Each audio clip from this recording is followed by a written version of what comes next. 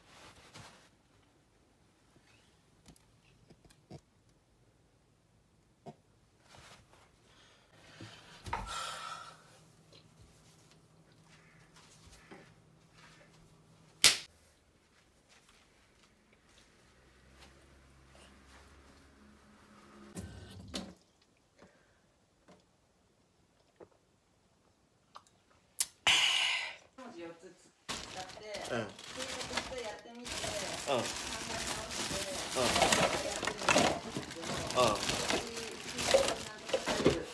うん。それ知らないのにスティーブンそれができてるね。うえーい。褒めてるってこと？そうだよ。なん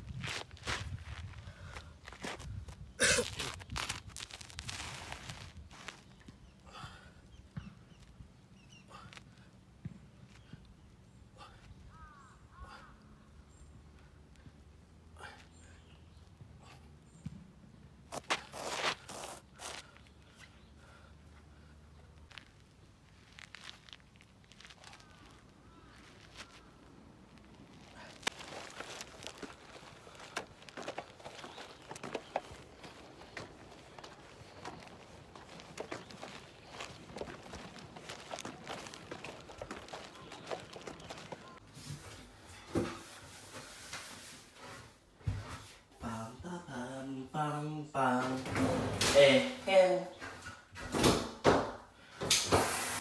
Tumitai, tumitai, hi, hi, tumitai, tumitai. Stop. Now what am I on?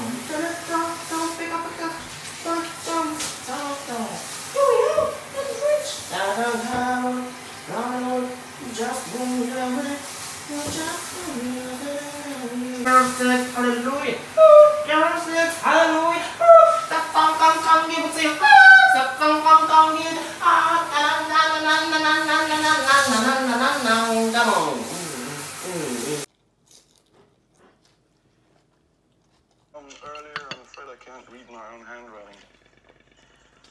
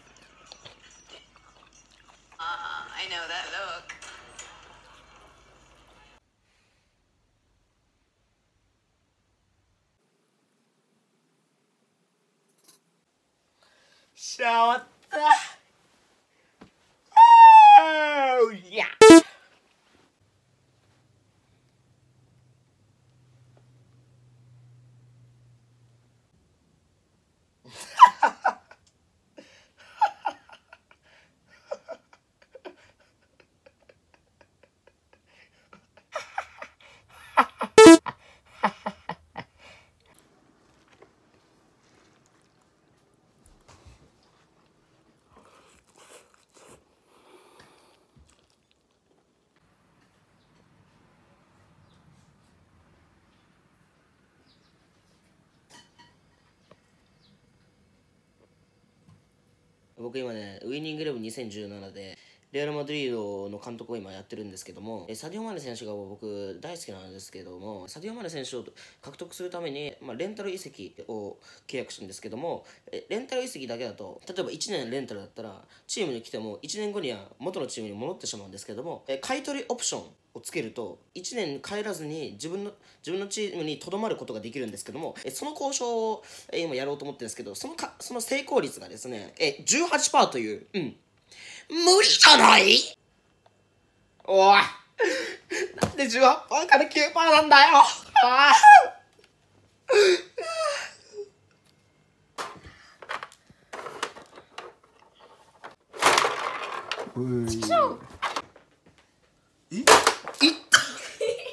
大丈夫えやばお前。え、大丈夫？え、気をつけて。ちっちゃいボールがここ